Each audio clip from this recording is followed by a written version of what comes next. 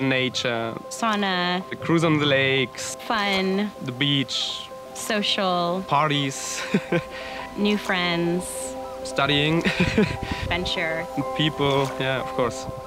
Friends, I would say. Friends is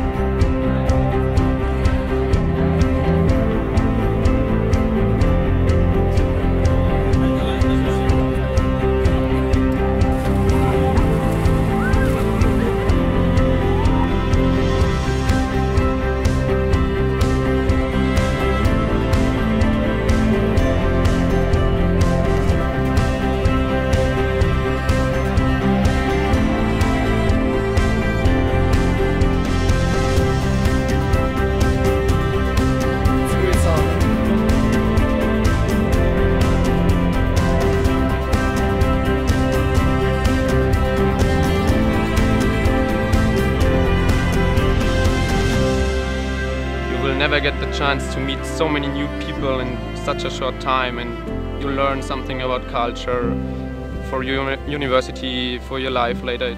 It's just perfect. You really should do it.